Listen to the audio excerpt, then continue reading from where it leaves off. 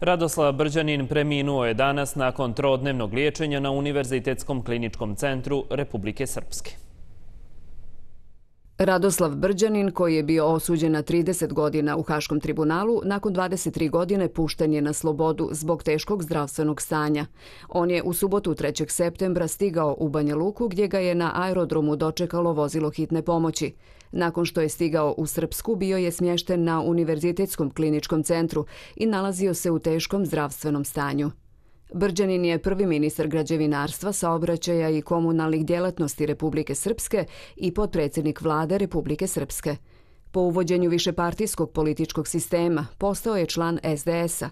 Izabran je 1991. za potpredsjednika Skupštine zajednica opština Sao Krajine, a iste godine izabran je za poslanika u Narodnoj skupštini Republike Srpske.